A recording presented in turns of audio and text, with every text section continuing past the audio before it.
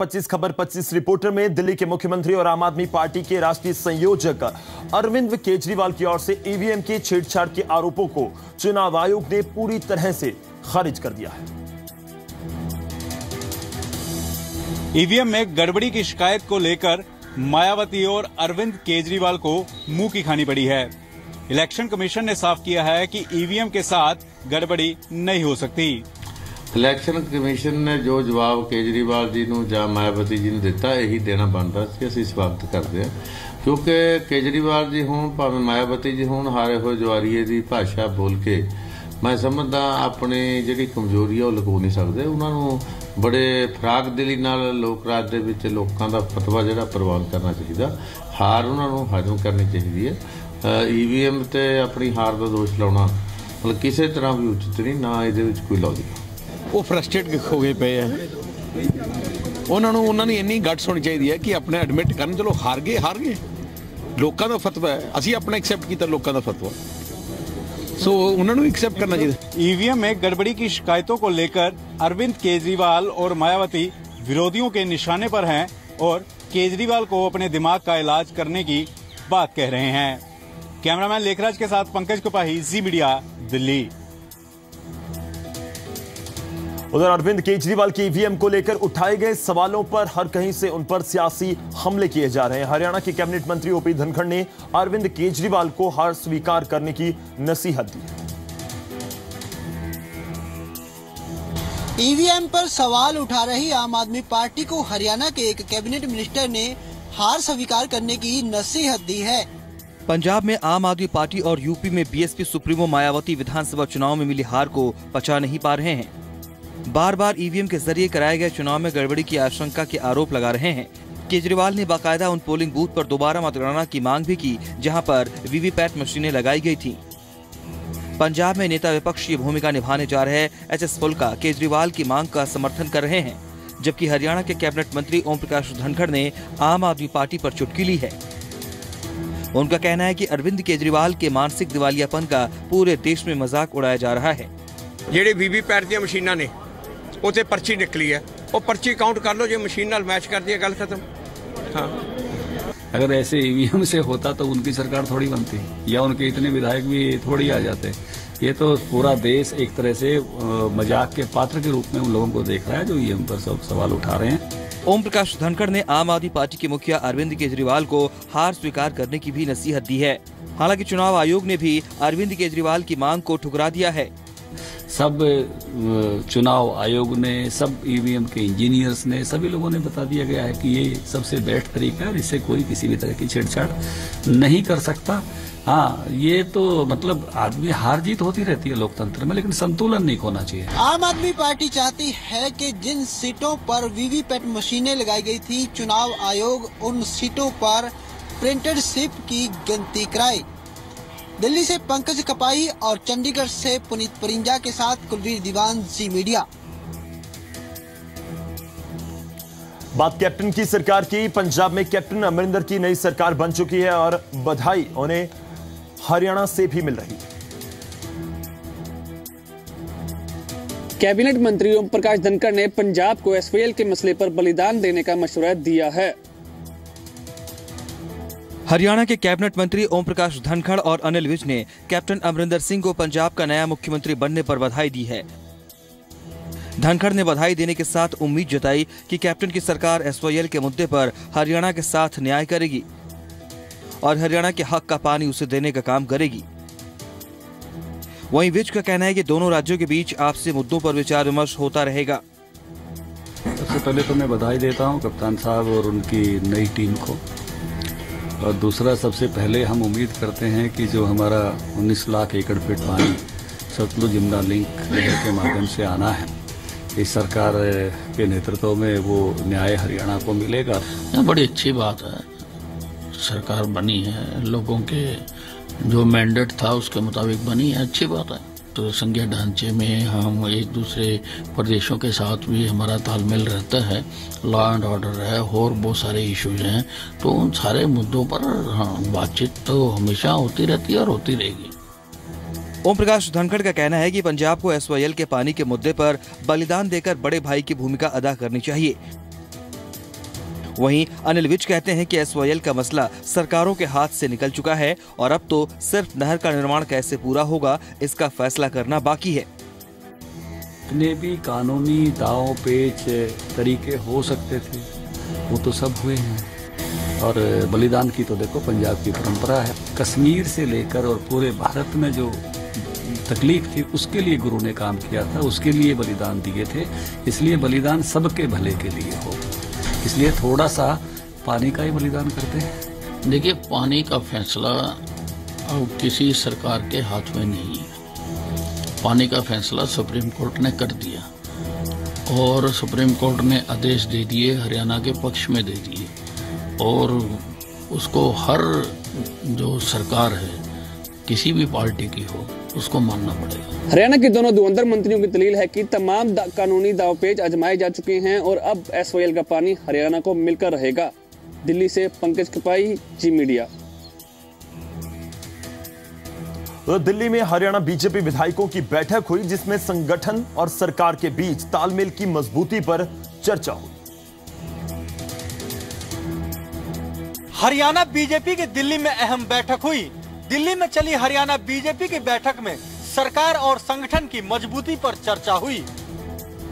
दिल्ली में Haryana cabinet, Haryana BJP विधायक दल और कोर ग्रुप के साथ ही सांसदों की बैठक का मैराथन दौर चला, जिसमें सीएम मनोहर लाल के साथ बीजेपी के संयुक्त महासचिव वी सतीश, राष्ट्रीय संगठन मंत्री रामलाल और प्रदेश बीजेपी प्रभारी डॉक्टर अनिल जैन भी शामिल हुए। बैठक में संगठन और सरकार के बीच तालमेल की मजबूती पर चर्चा हुई। जो चीज़ें हम अच्छा कर रहे हैं, चाहे वो संगठन के स्तर पे अच्छा कर रहे हैं या सरकार के स्तर पे अच्छा कर रहे हैं, उनको और अच्छा कैसे करें, और बेहतर कैसे करें? और संगठन और सरकार में ताल, तालमेल जो अभी भी बहुत अच्छा चल रहा है और सरकार हमारी मुख्यमंत्री जी मनोहर लाल जी के नेतृत्व में अच्छी चल रही है, ये और अच्छा किस प्रकार से हो? ये सारी बातें इन बैठकों के अंदर होती हैं। इस बैठक में सरकार से नाराज़ चल रहे विधायकों का मुद्दा भी अहम रहा। हालाँकि बीजेपी का कहना है कि विधायक सीएम के साथ हैं। और उनकी समस्याएँ लगातार सुनी जा रही हैं। तो वहीं विरोधी बीजेपी पर चुटकी ले रहे हैं। देखिए, एक बात बिल्कुल स्पष्ट है कि सभी विधायक, मुख्यमंत्री मनोहर लाल जी के साथ सरकार किस प्रकार से बढ़िया चले, डट करके खड़े हैं, कहीं कोई समस्या नहीं है। सब विधायक एक बात कहते हैं, मुख्यमंत्री जी ईमानदार हैं और ईमानदारी के साथ सरकार वो चला रहे हैं और प्रदेश को बहुत आगे लेकर के अभी तक गए हैं और और आगे लेकर के जाने की विकास के मामले में अभी उनकी इच्छा है और लेकर के जाएँगे। इस बात के लिए प्रतिबद्ध है। मुख्यमंत्री नारा देता है हरियाणा एक हरियाणी भी है। कहता है सबका साथ सबका विकास। जिस आदमी से अपने छियालीस विधायक नहीं संभाले जाए वो प्रदेश को कहाँ से संभाल पाएँगे? पार्टी का दावा है कि हरियाणा सरकार और संगठन में सब कुछ ठीक है। दिल्ली से पंकज कपाही के साथ आलोक उपाध्याय जी मीडिया। और उधर सरकार जाट आरक्षण पर गंभीर होने की बात कह रही है तो विरोधी पार्टियाँ सरकार की नीयत पर सवाल उठा रही हैं। वहीं जाट नेता 20 मार्च तक फैसला नहीं होने पर हरियाणा दिल्ली बॉर्डर सील करने का अल्टीमेटम दे रहे हैं। हरियाणा में चल रहा जाट आंदोलन का मसला अब पूरी तरह सियासी रंग में रंग चुका है। सरकार के मंत्री कह रहे हैं कि आंदोलनकारियों से बात जारी है और उनकी मांगों को सुना जा रहा है। तो वहीं विरोधी सरकार की नीयत पर सवाल खड़े कर रहे हैं। देखिए, हरियाणा सरकार ने तो अबे उस समय उस विधानसभा के में साक्षी भी थे और बोलने वालों में भी थे, सीएम साहब और वही बोले थे। पाँच मिनट में हरियाणा सरकार ने जैसी समाज की इच्छा थी, वैसा कानून पारित किया था। और उच्च न्यायालय में भी जो समाज ने वकील कहा, उस वकील को पैरवी के लिए खड़ा किया।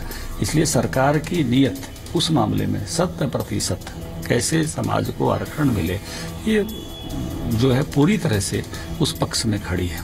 कहीं ना कहीं आज भी प्रदेश के मुख्यमंत्री की नीयत ऐसी है। वो नहीं चाहते कि प्रदेश के हालात सामान्य बने रहे या प्रदेश का भाईचारा आपस में कायम रहे।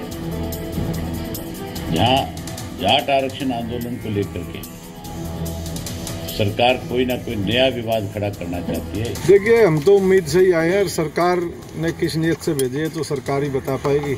पहले भी हम तो दो बार आप लोगों से मिले तो कह के गए थे भाई हम पूरे खुले दिमाग से आए हैं।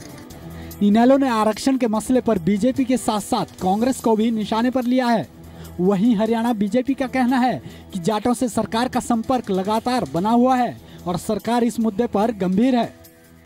हुड्डा जी से ये तो पूछे कि अगर आपको इतनी चिंता थी तो आपने अधूरा आरक्षण क्यों दिया? आपने ही उस वक्त जब इनको आरक्षण में शामिल किया था तो दस्तावेज़ पूरे करने चाहिए। तो, तो पूरी नरमाई है। आप देखिए आज सैतालीसवां दिन धरने का है। इससे ज़्यादा क्या नरमाई हो सकती है? सब, लोग शांति के साथ धरना दे रहे अपना काम कर रहे जाट आरक्षण के मुद्दे पर हरियाणा में जहाँ जाटों का आंदोलन जारी है, वहीं जाट नेताओं ने अब अपने आंदोलन का दायरा दिल्ली तक बढ़ा दिया है। जंतर मंतर पर प्रदर्शन के बाद अब दिल्ली हरियाणा नेशनल हाईवे को जाम करने की तैयारी में है। गुरुग्राम से आलोक उपाध्याय के साथ दिल्ली से पंकज कपाही, जी मीडिया। चलिए अब रुक करते हैं हिमाचल प्रदेश की और हिमाचल प्रदेश विधानसभा के बजट सत्र के ग्यारहवें दिन भी सदन में पक्ष और विपक्ष के बीच घमासान जारी रहा। हिमाचल प्रदेश विधानसभा बजट सत्र के ग्यारहवें दिन भी बीजेपी और कांग्रेस के बीच आरोप प्रत्यारोप का दौर जारी रहा। हिमाचल प्रदेश विधानसभा में चल रहे बजट सत्र के ग्यारहवें दिन सदन में चर्चा के दौरान सरकार और विपक्ष के बीच कई मुद्दों पर तीखी नोकझोंक हुई। शिमला से बीजेपी विधायक सुरेश भारद्वाज ने राजधानी बेरोजगारी भत्ते और स्मार्ट सिटी के मुद्दे पर सरकार को घेरते हुए जनता को गुमराह करने का आरोप लगाया। घोषणाओं का बजट है। उसमें ना कर्मचारियों को कुछ दिया गया है, न किसानों को कुछ दिया गया है, न व्यापारियों को कुछ दिया गया है। और फिर ये हिमाचल प्रदेश के प्रत्येक व्यक्ति के सिर पर कर्जा थोप दिया गया है। वहीं विपक्ष के सवालों का जवाब देते हुए हिमाचल के उद्योग मंत्री मुकेश अग्निहोत्री ने कहा कि विपक्ष सरकार के कामों से बौखला गया है। बात चाहे बेरोजगारी भत्ते की हो शिक्षा की हो या फिर स्वास्थ्य क्षेत्र की वीरभद्र सरकार के विकास कार्यों के सामने बीजेपी को मुँह के खानी पड़ रही है। एक्चुअली जो मौजूदा बजट आया है उस बजट में, जनहित में जितने फैसले किए गए हैं, उससे भारतीय जनता पार्टी का नेतृत्व जो है, वो परेशान हो गया है। क्योंकि जितनी भी हमारी चुनावी हमारा मैनिफेस्टो था, उसको, घोषणा पत्र को पूरी तरह इम्प्लीमेंट कर दिया गया है। कैबिनेट मंत्री कौल सिंह ठाकुर ने रोहड़ू हाटकोटी ठियोग मार्ग का कार्य 30 जून तक पूरा हो जाने का भरोसा दिया है। मोहित प्रेम शर्मा जी मीडिया शिमला। उधर हिमाचल प्रदेश के मुख्यमंत्री वीरभद्र सिंह ने प्रदेश को नए फायर टेंडर की सौगात दी है जिसके बाद अब सूबे में फायर ब्रिगेड के बेड़े में एक गाड़ियाँ शामिल हो चुकी हैं। वीरभद्र सिंह ने प्रदेश के कई इलाकों को नए फायर टेंडर की सौगात दी है। हिमाचल प्रदेश के मुख्यमंत्री वीरभद्र सिंह ने सूबे के अलग अलग इलाकों में करीब एक दर्जन फायर स्टेशन की शुरुआत की है। इन फायर ब्रिगेड की गाड़ियों को किन्नौर, लाहौल स्पीति, चंबा, कुल्लू और शिमला के लिए रवाना किया गया। प्रदेश के कई भागों में जो है नए नए फायर स्टेशन खोले गए हैं और और जगह भी खोलने की योजना है। मुख्यमंत्री का कहना है कि आने वाले समय में और भी सुदूर इलाकों को फायर टेंडर से लैस किया जाएगा ताकि आगजनी की स्थिति में हालात को जल्द से जल्द काबू किया जा सके। हम चाहते हैं कि हर दूर दराज इलाके के अंदर हो चाहे नज़दीक में हो हर ज़िले के अंदर हर सब डिवीज़न के अंदर जो है अंततः जो है हम ये फायर स्टेशन खोले। हिमाचल प्रदेश के फायर ब्रिगेड के बेड़े में अब एक गाड़ियाँ शामिल हो गई हैं। धर्मशाला से ब्यूरो रिपोर्ट के साथ संदीप सिंह जी मीडिया। उधर हिमाचल सरकार ने कैशलेस ट्रांजैक्शंस को बढ़ावा देने के लिए रोडवेज़ की बसों में कैशलेस पेमेंट की शुरुआत की। हिमाचल प्रदेश के परिवहन मंत्री जीएस बाली ने बसों में कैशलेस पेमेंट सिस्टम की शुरुआत की है। हिमाचल की वीरभद्र सरकार ने प्रदेश में कैशलेस ट्रांजैक्शन को बढ़ावा देने के लिए नई पहल की है। प्रदेश के परिवहन मंत्री जीएस बाली ने एक निजी बैंक के सहयोग से पहले चरण में सूबे की 119 बसों को कैशलेस पेमेंट सिस्टम से लैस करने की योजना की शुरुआत की है। हमारे साथ पार्टनरशिप में एचडीएफसी बैंक जो कि देश का ही नहीं प्रदेश का ही नहीं, देश का प्राइवेट लीडिंग बैंक है, उसने एक समझौता किया है और उस नोते के मुताबिक बहुत मशीन्स वो लगाएँगे।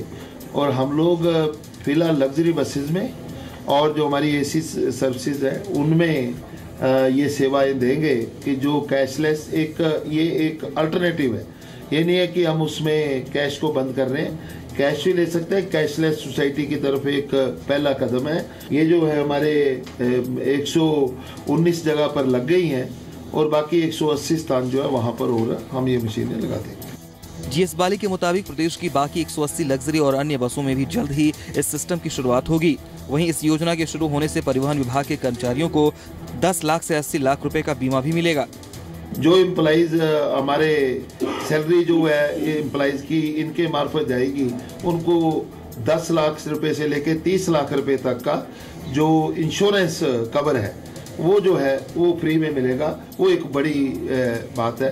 उसको मैंने एमडी साहब को दिया है कि उसको देखे और उसको इम्प्लीमेंट करने का प्रयास करें। गैर बीजेपी शासित राज्यों में इस योजना को बढ़ावा मिलना कहीं ना कहीं इसकी सहूलतों को ही दर्शाता है। ब्यूरो रिपोर्ट के साथ यशराज जी मीडिया। आगे बढ़ते हैं और अब बात राज्यसभा की। आज प्रधानमंत्री मोदी जब राज्यसभा पहुँचे तो बीजेपी सांसदों ने शेर आया शेर आया के नारे लगाए। प्रधानमंत्री नरेंद्र मोदी के राज्यसभा पहुँचने पर आज उनका स्वागत कुछ अलग अंदाज में हुआ।